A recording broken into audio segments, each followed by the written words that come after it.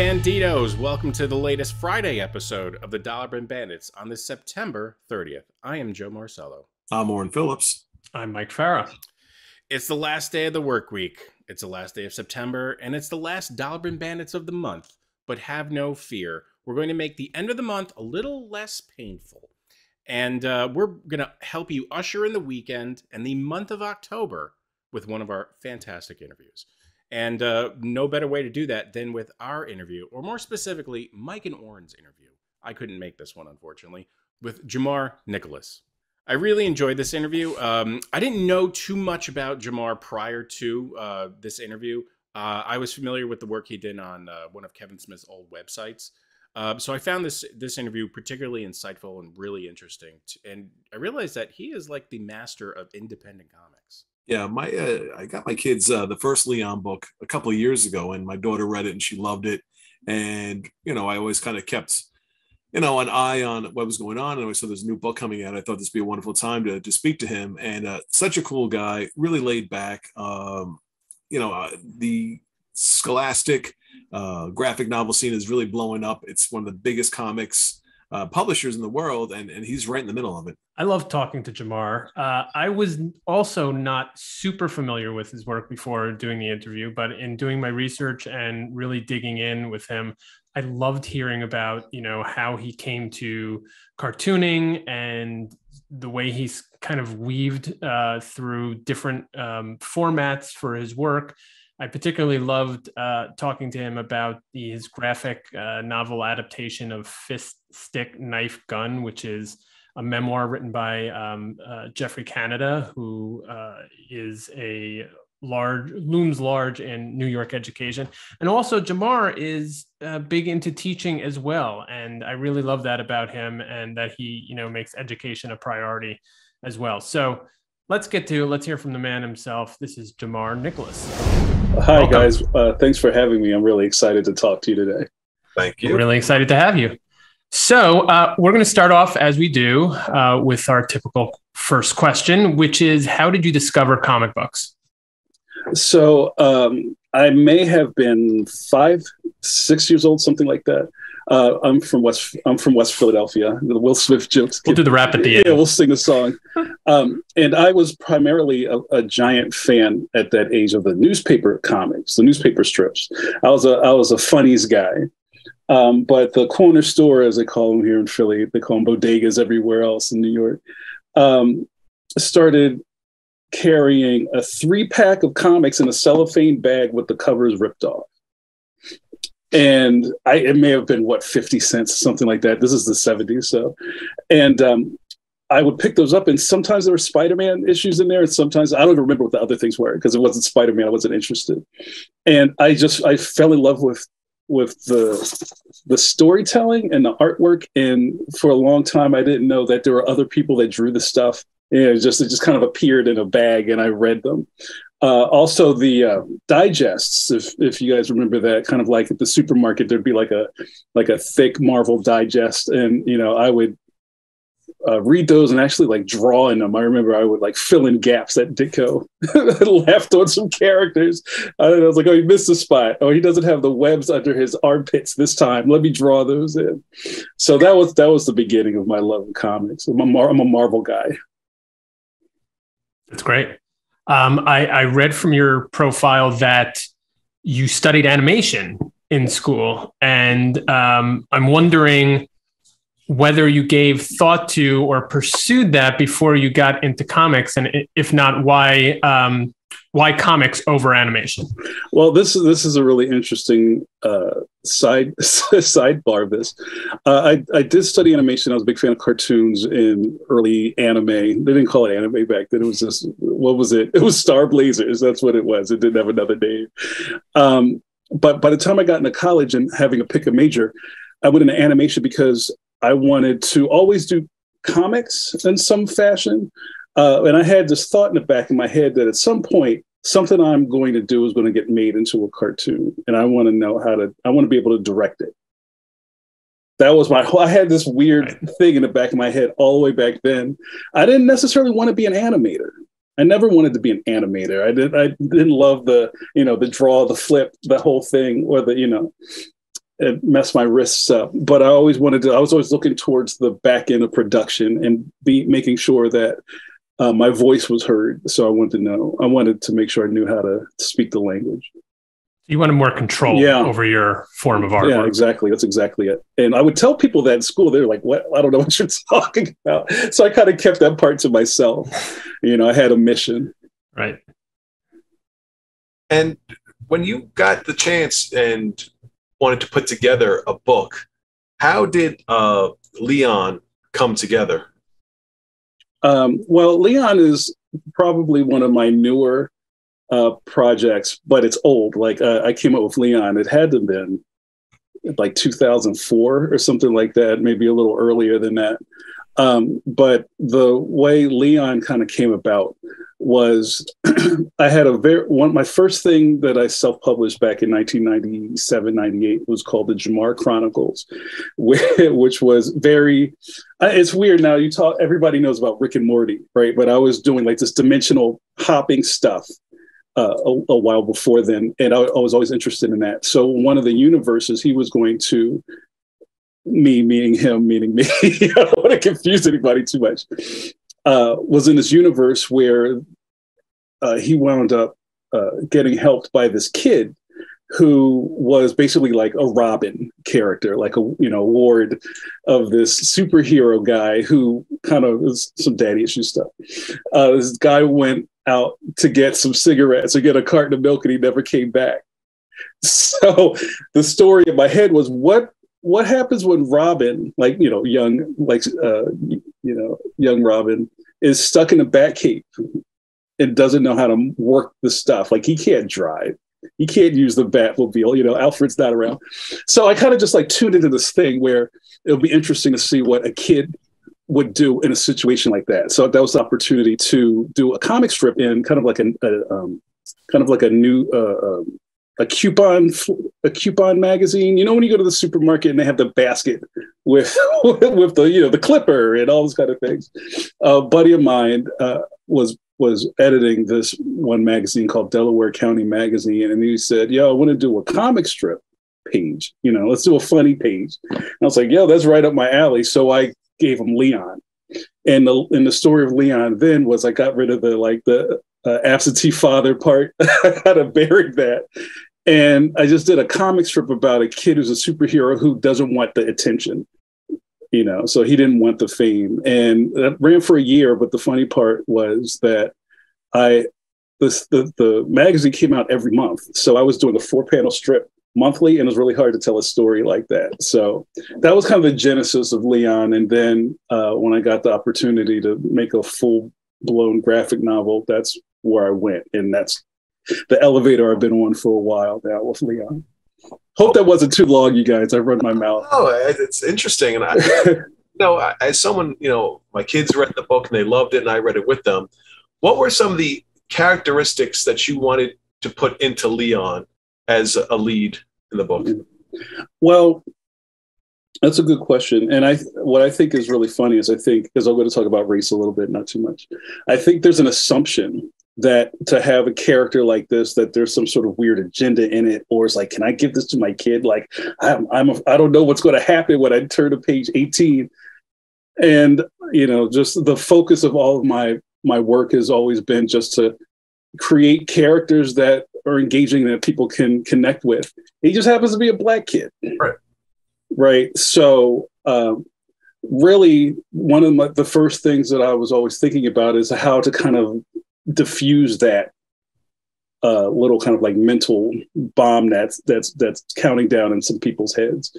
Um, and you know, once in a while, I would get somebody who would come back from reading the book. This is Protector of the Playground we're talking about, and go, "Oh wow, that was really good. It's not what I was expecting."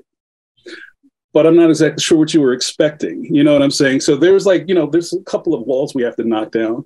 And uh, probably one of the biggest things that I have been campaigning for as I've been doing this work is to study a couple of things. One of the first studies I'm, I'm always considering is what it felt like to be an 11 year old. And, you know, and that's kind of that weird tween, they call them tweens now, area where you're still like kid stuff, but then all of a sudden you have a personality that you're trying to explore and it's like oh i'm going to wear this hat uh, I don't know. I, I, just I just like it. And you know, now you're weird. You smell weird. You smell funny. And, and I wanted to kind of call back to that feeling of not really being sure of yourself, but also all of a sudden people expect things from you you know uh, your mother expects you to take out the trash and clean clean off the table. And you're like i don't want to do any of this stuff. Why do you want this for me all of a sudden? So i'm peppering all of these emotions into the work. And then also um, this is very like academic. I always always wanted to kind of bring it back into a, a sense of play and imagination. Like you know leon's look is very like day one cosplay. You know, he's got a tablecloth on his around his around his neck, and he has uh, dishwashing gloves on and a utility belt. Like, you know, that's your Dollar Tree superhero right there. Um, and I wanted him to feel accessible like that, like anybody could be Leon. And um, so I feel like I've been hitting a lot of those notes uh, lately in the work. So that's really what I'm always trying to. I'm trying to go for, and not agenda message, but also making him accessible to people who can recall their childhood and you know, not to, to, get ahead, but I know there's other Leon projects in the work. Yeah. When you're doing a project with a, a child, um, you know, center figure, do you plan on aging him with each mm. book? Or do you keep him at the age? Do you think with aging him, it's different things he's coming up against, but there might be a limit to how far? yeah, that's a great question. Um, I've, you know, I've when I was a, a young kid and I was uh, kind of deconstructing comic comic strips, I was always upset that the characters never changed their clothes. Right now, as a cartoonist, like, I understand why they don't change their clothes. I don't want to have to figure out another way to draw this kid. Like Jughead wears, you know, the the sweats, the sweater with the S on it, and he's got the the hat. You know, that's Jughead. Um, with his age. Um, there's been a couple of iterations. He has kind of just like slid a little bit between like third to sixth grade. And I've kind of kept it right in there. And I'm not really interested at this point to go much further because I think once you start going a little further, you start getting the puberty stuff. And then it's like, oh, well, does he like girls or does he like boys? And, uh, you know, and it's like, that's not really the story I'm interested in. Um, I would even leave it up to the readers; they can figure that out or make their own, you know, make their own comics. Um, uh, uh, what do you call it, slash fiction or whatever? Like I'm gonna make up my own stories about Leon. But right now, I like, I like the age he's at. I don't really have a story in my head of teenage Leon or adult Leon or something like that, um, because I feel like this this period that I'm dealing with with him is so special and I see so much stuff out there that's kind of like shooting past that age. You know, it's like, oh well, that's boring. Let's get to like when he, you know, he's looking at girls and stuff. Like, you know, I'm not trying to be Judy Blume over here. I, I have my lane that I'm trying to I'm trying to work in. I hope you don't mind us kind of skipping around uh, your. No, that's how my brain going from your most your most recent to you know one of I think probably your, your formative and certainly award winning experiences, which is the adaptation of Fist Stick Knife Gun. Yeah. Um, how important was that project to you personally, but also as a step in your sort of artistic and creative evolution? Oh, thank you for that question. Um, it was it was very very it was it was, almost like a, a, a milestone or a fork in the road. I'm trying to figure out a good way to put how important that project was to me. Um, on a couple of points, if you'll uh, humor me for a second, I'll go through some of them. On one of them was just a career milestone because um, the the project came about. Uh, not that I was chasing it down as a, as a lot of freelancers know like you're always trying to find the next gig. I'm trying to find this next opportunity. Hey do you know anybody who needs their car detailed? You know whatever when you're in that hustle mode you're like i gotta find some work. And this was the beginning of a space for me when people were coming to me which was you know that was mind blowing you know you hear those stories about you know uh, somebody gets the call and you don't believe it at first. You're like johnny stop playing on my phone. And you like hang up the phone. Like no that was that was really joe quesada. Like oh shit really? You know let me call him back. It wasn't to that degree but it's kind of like well now you know your name is getting out there and people know about you and all the things you've been working for actually starting to work which is something that we're not really used to you know? So that was a big thing. The other thing was the content of the book. Uh, the story quickly is about the, um, the upbringing of this uh, man, Geoffrey Canada, when he grew up in the 50s and the 60s in the South Bronx. And what makes the book so timely is that we are completely in the same space socially, as far as how um, kids are growing up around violence and how a lot of ki- inner city kids kind of their minds kind of get warped into being violent to solve their problems. And, you know, it kind of it's a you're being a, pro- a product of your environment is a real thing. So what I took that on when I read the, his memoir was like, oh man, I went through the same stuff growing up in Philly in the 70s and the 80s. And this was like 20 years ago. Nothing has changed. Actually, it's gotten worse. So, you know, I took that on as a as a challenge to try to at least document this one person's story, and maybe that would help uh, people out in their own lives and start to change the narrative. Uh, and also from a business standpoint, where not to talk ill of that project, but it, it wasn't the best deal. Um, it was a take it or leave it deal. Uh, and some things started to become really clear to me is that if you're going to be in this book space doing, you know, like we call it book world, like book publishing and things like that, you need you need representation, like you need an agent not to say that you can't do things without it, but you kind of need an agent. Let's just be, let's just be real. So, you know, I took this deal. I knew I could not take it. And I kind of, I did it. I paid the price. And now the thing exists out in the world, which I'm very proud of. But I learned a lot more about how to uh, do business moving forward. So, yeah, it was a very, really pivotal thing for me. Had you been interested um, in biographical or, or true life comics before that, or was it just this particular story that spoke to you? And second, would you do another biographical project? Uh, uh, yes, to all those things. Uh, bef- around that time, this is around 2009, 2008, 2009. Um, I was I was really into journal comics, uh, like James Kochalka's uh, uh, diaries, and then Drew Weing, who had just had uh, he was doing a daily comic journal of just his life in Savannah, Georgia. And there's his right. girlfriend, and there's his roommate, and they're going to go get pizza tonight, and maybe I'll print some comics. Like all that stuff was really fascinating to me, just from a storytelling point of view. And uh, some of the graphic novels that were coming out around that time, like probably um, Fun Home was probably the biggest thing at that time. I found was really exciting, just from the standpoint of people being bold, uh, brave to tell stories in the space, and that was still new, right? It wasn't like oh, you know, you go to Barnes and Noble and there's a whole aisle of this stuff. There was just a couple of books, and I've always been somebody that talks too much, as you can probably see from our conversation.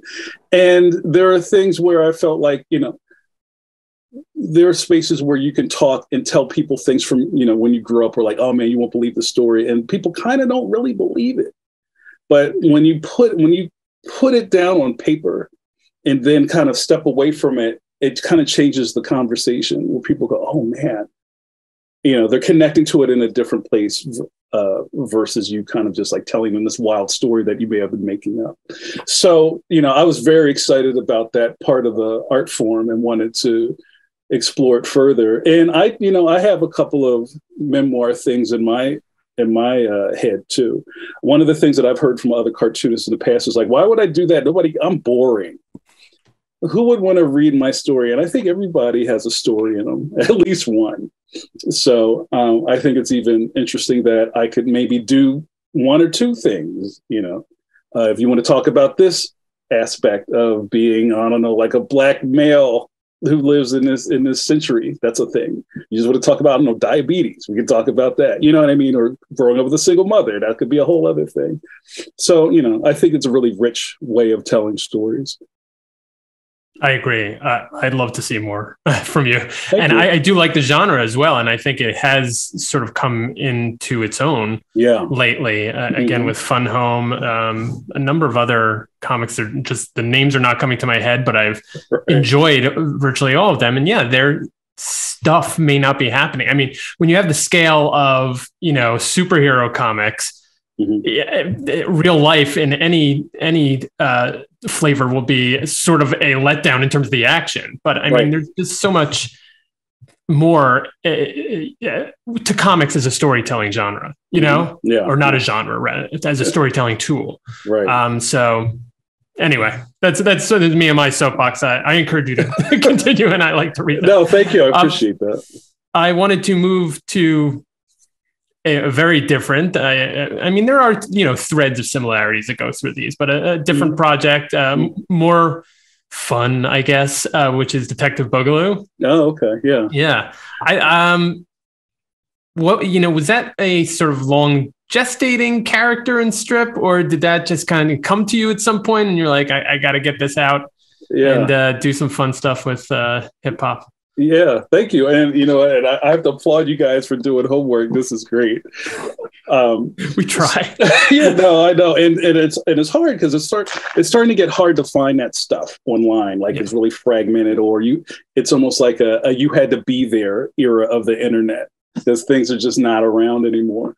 Um, well, real quick, just to kind of give a, a, baseline for what we're talking about. So, Detective Boogaloo Hip Hop Cop uh, was a web comic I started doing for the filmmaker Kevin Smith.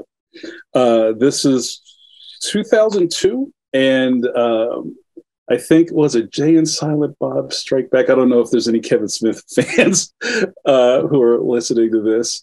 Um, but there was a part of this movie where the whole plot of this thing was that Jay and Silent Bob were going to go visit all of these internet nerds who were making fun of them on his website and punch them.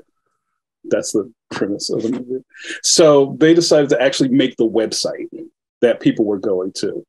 So uh, I was part of a web comic portal on there. Uh, and there's some other like big big names on that were on there now, like Chris Ryall, who was my editor, who was the editor in chief of IDW for a really long time. He just stepped down. Was my editor. We were all babies then, and um, uh, Ryan Ottley uh, was doing a, a, strip there. You know, like it was really in- interesting test kitchen.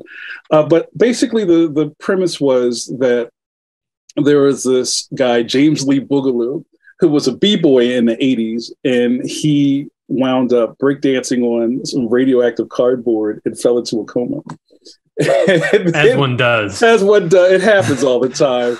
There should there should be I don't know a community about that. And um, he wakes up in the, in the mid '90s to find out that his brother Ice Tray has become a super powered rapper and has taken over the city. So he has to basically join the police force to bring him down.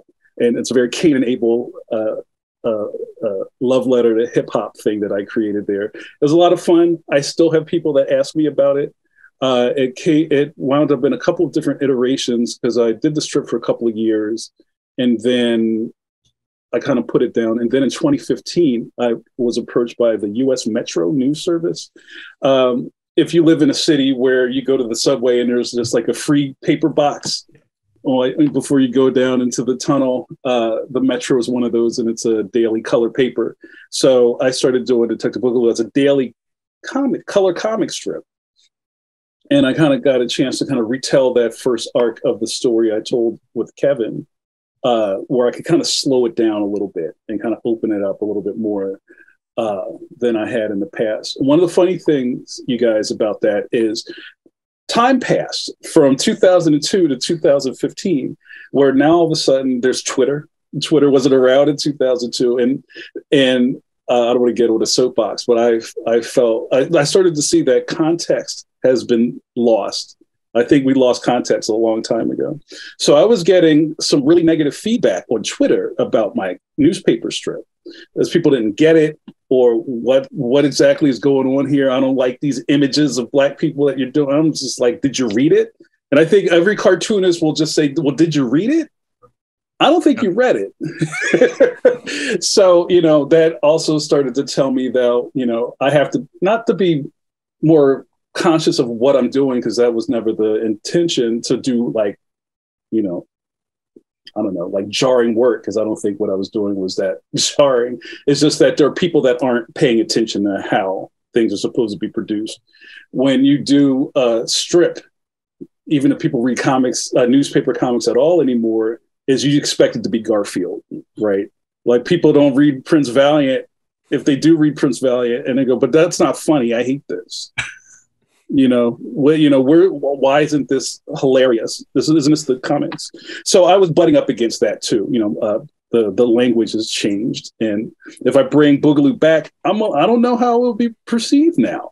You know what I mean? I would probably advance the timeline to present day, but I don't think people could just you know read it and go, "Oh, I, I get it. This is satire." That's a whole. I, I don't mean to go Yeah. on a rail there. No, but- I mean, I feel like with the introduction of social media, or, or rather the rise of social media, everything's Yeah. become so reactionary. And Yeah. to your point, devoid of context. oh yeah, Um, and and I think that's sort of one of the, if I get on my soapboxes, one of the limiting factors of a place like Twitter is you only have so many characters, and so it doesn't give you the Mhm. opportunity to Mhm. make any kind of nuanced article Yeah. um, argument rather. and you know, and to that, um, I've also. I don't know. I, I don't know if this is different for people who've grown up. Like you, you came out of the womb and started using an iPad. Like we're not, um, we're not from that era. Um, but to me, it started making me think about how I just have to, I don't know, kind of like steer what I'm doing to make sure that there's an access point for people who aren't an old guy like me. You know, like I don't want to be the, you know, yelling at the clouds old man guy, but also know that there are people who don't. I just, you guys, this is great. I just saw this. I think it was a reel or a TikTok where somebody was explaining. Um, I'm a video game guy who's like, this is a GameCube, and back in the day, we used these little little boxes. They're called memory cards, and you would put it in there, and it would save your game. And I was like, well, how old are we now that people don't know what a memory card is? But you know, the timeline is moving ahead, and you know, I don't know. Don't get me started. I think we're all, all feeling like we're getting left behind. Yes. like, really? Is that where we're at now? Okay. But yeah, I hope that answers your question. Thanks very much. okay. Uh, you're right. Right now, the the graphic novel, especially the kids graphic novel market, is absolutely booming. Um, I saw somewhere that it's Scholastic is outselling Marvel and DC as far as you know, technically comic books go with these graphic novels. yeah. As someone in the middle of this, uh, how have you seen the growth in all this time? Uh, I, you know, I find it. It's it's it's mi- it's not mind boggling. It's very eye opening, and I think because I've been dabbling in this world for a while, I get it, and I think not to be too like you know ostracizing here. I think com- a lot of comics readers don't see this other side of the road. You know, it's very easy to look at the success of Dav Pilkey uh, from somebody who has a pull box with Flash and Green Arrow in it and go, what is that garbage? You know what I mean? It's like this guy can't even draw. What is you know what? Is, and just kind of like shut it off. You know, or people who don't know who Raina Telgemeier is. You know, it's just kind of like being a cartoonist and being a fan of cartooning should you know at least make you aware that this is going on and that that kids are interested in it so you know i feel like i'm kind of in the middle of a middle of a railroad right where i see what's going on in, in kid lit and the book publishing world and hoping that the comic side can i don't know maybe i don't want to say catch up that's not what i, what I want to say want to like maybe embrace it in a better way like going into a, a comic book shop it's very rare that a comic book shop has a really good setup for kids. You know, there might be like, you know, that that rack towards the door where the old bubblegum machines are, and there's some Archies that are sun, you know, sun bleached over there. It's like, you got anything for kids? Uh, yeah. There's some Sonics over there. They're not super interested in that. You know what I'm saying? But you're starting to see that change a lot, and I think it's for the benefit of sorry for the dog the benefit of the art form and the benefit of the hobby for us to make sure that kids are getting comics you know or getting into the comic book store. And when they go there they don't get told they should just go to the go to barnes and noble because we don't carry that stuff. You know what i mean? So i just hope to see a better marriage of the two worlds coming coming uh, down the road How do you write for children that's not above their heads, but also, you know, not below them, not insulting their intelligence? That it's something that they can relate to, and it's something on a Yeah. reading level that's going to help them. Uh, that's, you a, know, that's, that's a good question. I think what helps me is that um, I wonder if people say this because we're all comic book geeks in a way. Oh, I'm a big kid. I'm a, you know, I never grew up. I'm a big, I don't, I think it's a little more nuanced than that. I think I'm very in touch with my imagination and that that part of wonder as a child, which I think gets lost the longer you know we you know the longer we're around. And I think the successful kids authors know how to tap into that. Uh, I've seen people or had conversations with people go, oh, you know, I've, I made this book, this picture book about brushing your teeth, and it's very like one, two, three, ABC. Oh, my teeth hurt. You should brush your teeth. Brush, brush, brush. And I was like, come on. Like when you were a kid, you didn't want to read that, you know, or even, I don't remember when we were in school, if you ever got that comic book with a toothbrush and that little, that little pill that turns your teeth green, you know, like that whole, that whole thing was really corny. Yeah. But if somebody was like, oh yeah, I remember getting that stuff. Let me try to write it in a fresher way. I think that stuff would, would, would connect with kids. Kids are a lot smarter than we give them credit for. When you were a kid, you were probably like, I'm smarter than everybody in this room right now. They just don't want to hear what I have to say, right? So I try to re- remember that all the time is that it's not brush, brush, brush, one, two, three. It's kind of like I want to just tell stories that kids can relate to because I remember what it felt like to get talked down to or not to be taken seriously as much as a kid could be taken seriously. And I, I live right in that in that pocket right there. I want to kind of be a voice to them. Now you've done um, a lot of teaching uh, as well as creating. Um, you know what what is how important is teaching to you and you know your career and identity? And you know are are you will it always be a part of your life? Are you always going to be doing something uh, with education? Um, i i you know it's funny i had just been thinking about this a while ago and i think what's kind of kept me young in a way is that i've had at least some sort of spoke wheel connection to kids or the kid world. I'll call it kid world. Uh, even if it's just language or if it's like slang or it's just like, you know, the way kids carry themselves or dress or what they care and don't care about. I've always kind of been around that to a degree where I'll, I'll give you an example. Uh, there was a period in times, probably a couple of years ago, when I used to teach a lot of summer youth program programs uh, downtown at some art schools. So you would kind of get this different kind of energy of, of kids that would show up just for the summer because they're too young to be there for school who come from all over the city to take a cartooning workshop fourth to sixth grade and they all kind of like basically dump these kids into a room and i'm just like uh, all right how am i going to make this work some kids don't want to be there right remember that here sit here i'll come get you at five o'clock but mom i want to go with you what am I going to do with this kid? You know, or the kid that just draws SpongeBob and he doesn't want to draw anything. Like I'm basically, you know, dealing with these this broken Lego box of pieces that don't really fit. So being able to speak the language and sometimes just connecting like oh so you guys somebody brought their their binder of pokemon cards. Oh you got a charizard? What do you know about that? You know i'm just connecting with them. And i remember once one of the other teachers came by my class and they were kind of marveling at how i was just interacting with the kids and everybody was having a good time. And he goes how do you know this stuff you know so what's going on in their classrooms is a totally different energy than what i was trying what i was you know relating to the students. And i never really internalized kind of like it's that little asterisk i have next to the way i teach is that i feel like i connect with kids in a different way than other people. So um, not having that in my life i don't know if i could do kids books. I don't know if i could be in a space kind of writing content that connects with them if i was just I don't know if if you've talked to other uh, kids authors and have you seen this? You go, wait, this is the guy that does this. He doesn't seem like somebody who would do kids books, you know. And it, and, and it's not so much that I have to be wearing like dinosaur T-shirts and mismatched socks. I don't have to be a, I don't have to be weird a weirdo, you know what I mean? But it's just I don't know if that makes sense. Like if you if you've seen that, it's like I don't really get the connection. Where is this coming from? Right. That you're you know writing kids books. You don't seem like somebody who would do that. Anyway, so yeah, the teaching part has been really important to me, and just being in a space where you can kind of understand the language of children. As I again going back to that thing where uh, kids are a lot smarter than we give them credit for. That also was a part of it. Because I was going to say in in Leon, there's a lot of focus on, as you said, imagination, which is so important, Mm. uh, social interactions, and also you know education. As far and also you know the the fun Right. story as well.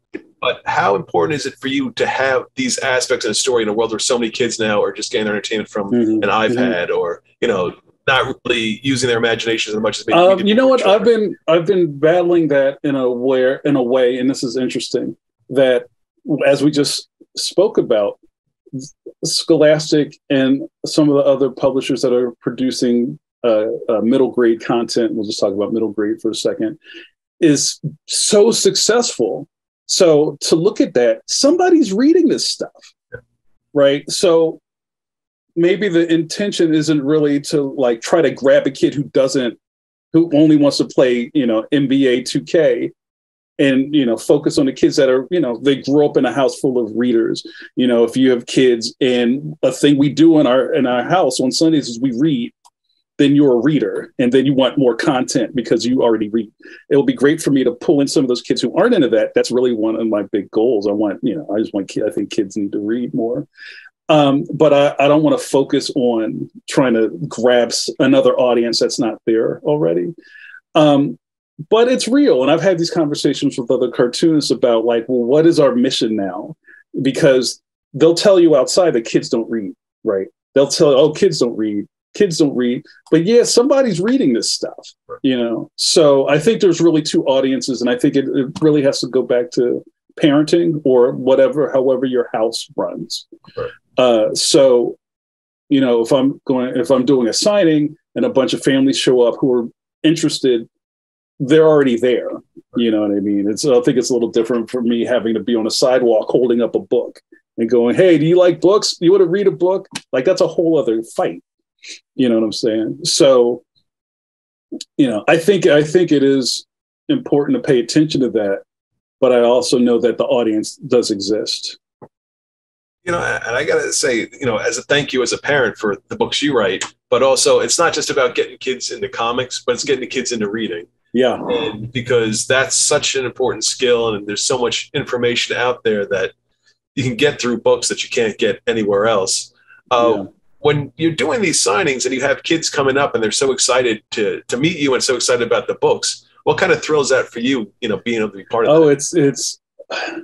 If I could say that that's my favorite part, I think some people would go, "What about drawing the stuff?" Or you know, you, I don't know, like the journey. I I feel like the the payoff of doing something that somebody connects to is so.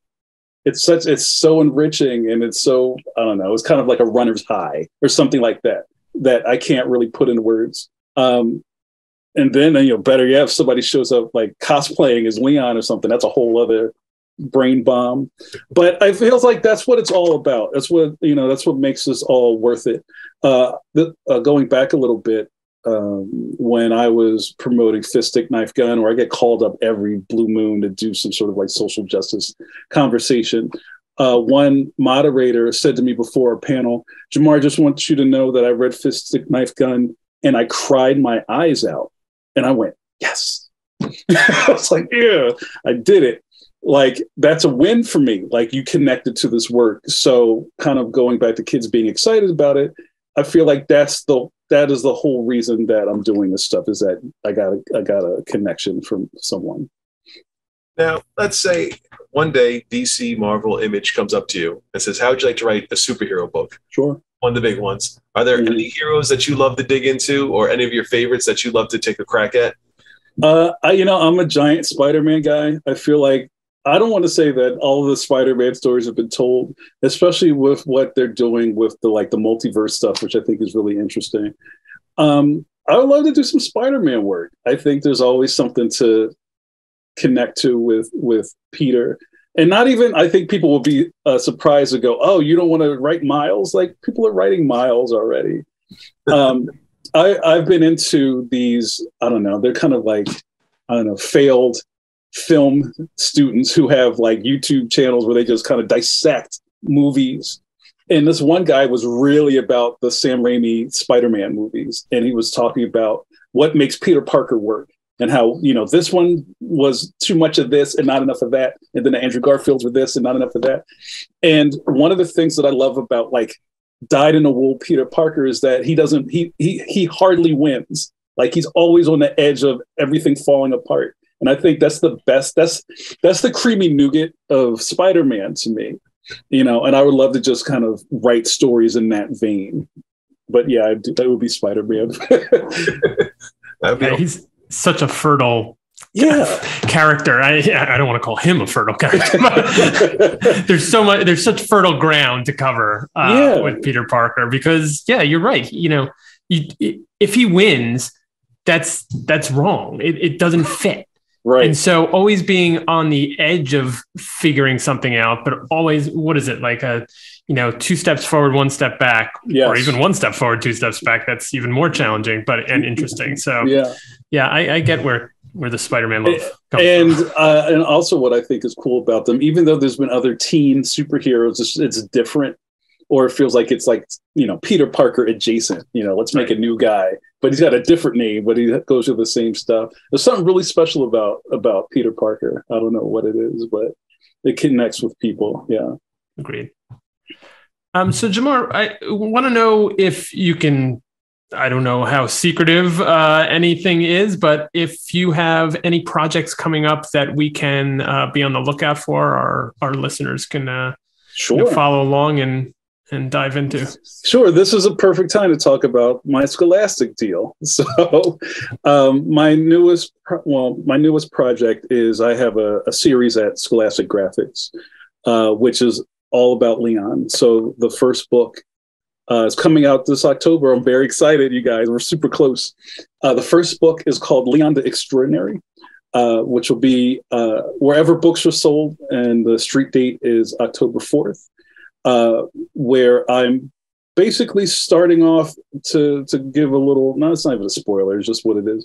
Uh, it's kind of like the origin story of Leon, which I think a lot of people will really enjoy and connect with, and um, there's layers to this onion uh, one of the interesting things that is that's happened since I've been promoting the book and talking about people is that the on the cover is Leon. Look, there's Leon on the thing. It's all like Leon, but once you read the book, it's like, oh, there's other characters in this. Um, you know, much like Protector of the Playground, there's a lot of different characters in there that bounce off of Leon that I find are just as exciting as the main character. So I'm excited for people to um, uh, delve into this universe. There's a lot of really rich things in there, and there's also a lot of good messages in there. And again, it's not heavy-handed. It's not preachy. Um, Leon is, you know, he doesn't have it all figured out. He's, you know, 11. Who hasn't figured out when they're 11? And I try to really stay, um, keep that in the back of my mind that you know he might mess up. Maybe you know he might be a meanie, but he doesn't mean it you know all that's all that stew that's swirling around in, in you when you're that age i want to kind of put out put in him so for people to connect with and i think you're going to love it and then right after that i have another leon book i'm i'm working on book two right now it's behind me and then i have book three and you know we'll go from there so i'm not going anywhere you guys a lot of leon's coming a lot of Leon. we, we, we, we, certainly look forward to it, and our kids do as well. Thank you. Um, I think we both have kids that are not 11, but approaching uh, mm. a little too quickly for our tastes. I'm yeah. sure.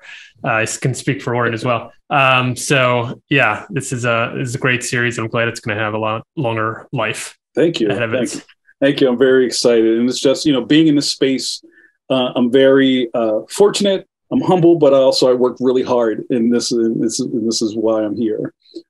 so I hope you enjoy it. Deserved, uh, you know, all the, the attention you're getting and the, the, you know this new thing with Scholastic. I mean, it's, you've worked hard and you deserve all of the success. Thank you, thank you. I appreciate that. More to come. Yes. So, where can fans, uh, listeners, viewers follow you? Uh, social media, websites, other other places for you know the latest and greatest. Uh, all right. So I have a website as jamarnicholas.com uh, I'm probably the most. Um, it's funny. I've been kind of like sliding back from social media, but I'm going to have to press press one. Uh, I have a new Instagram. They nuked my original Instagram account. I wish it was for a reason. It's just you know the algorithms got me. I don't know what happened. So my new Instagram uh, account is Jamar underscore Nicholas underscore cartoonist. Uh, and then I also have a Twitter, which is at Jamar Nicholas. So yeah, uh, come check me out. And I also do some podcasting, uh, like we we spoke about a little earlier. Or did we talk about that? Maybe we didn't talk about that. I think we did pre-recording, so let's let's get it out there now. that we're on tape. Sorry about that. Yeah, I have a couple of weekly podcast projects. One is called Pencil to Pencil. Uh, you can find that on YouTube uh, at just type in Pencil to Pencil, which I do with uh, comic book masterminds Mike Manley and Steve Conley uh, where we talk about the art form and also uh, um, interview other cartoonists. Uh, and then I also have this thing called Coffee Break with JN, which on Thursdays at 9 p.m. EST, I come right here like this. This is like the safe space in this box right here, and I drink a cup of coffee and run my mouth. There you go. it's a it's a it's a really fantastic community. We have regulars, and it's a really interesting dialogue every week. You should check it out. And we are back. Um, like I said, really interesting interview, guys. I you did a great job with him. He seems like just the coolest guy to talk to, um, and I really found you know what he had to say very interesting. Afterwards, I had to start going in and looking back at his work beyond what I had known previously. So, any interview that we do and you learn something from is an absolute success, and this was a home run. Thank you, Joe. Yeah, he's uh, one of the coolest guys we've spoken to. I hope he comes up to New York soon. Uh, I think he's someone we'd like to chat with even more, uh, get to know. Um, but I'm looking forward to the new uh, Leon book coming out. My kids are looking forward to it, and I'm sure it's it's going to be a home run. Yeah, it's great that uh, Jamar is blowing out the Leon universe, and you know this this partnership with Scholastic, and I think it's going to be an absolute home run, like Oren said. So uh, couldn't happen to a nicer guy. We're looking forward to it. Please uh, have your kids and yourselves, if you like, look out for those Leon books. And um, thank you for listening. Thank you for viewing. Thank you for being here. Thank you for rating, reviewing, subscribing, telling your friends, telling your enemies, telling your frenemies, telling everybody you can fathom about the Dollar Bin Bandits podcast. We'll put a pin in it. That's it for this week. We'll see you next time.